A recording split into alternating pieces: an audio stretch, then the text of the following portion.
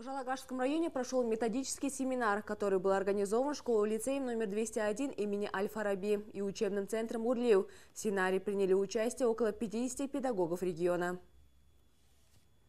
В школе-лицее номер 201 имени Аль-Фараби обучаются более 900 детей. Коллектив, стремящийся к инновациям, осваивает способы применения робота в системе образования.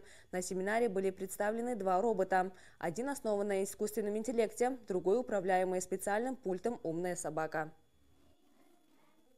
өңірде бұрын соңды болмаған роботтарды алып келіпті оның барлығының жұмыстарымен таныстық Ознакомились с привезенными в нашу область роботами, созданных на финансовые средства фонда «Казахстан Халкана». На средства данного фонда были оборудованы 28 учебных классов, мастерские, спортивные залы. Раньше для обмена опыта мы ездили в Астану, сегодня в район, потому что и в нашей области имеются образцовые школы.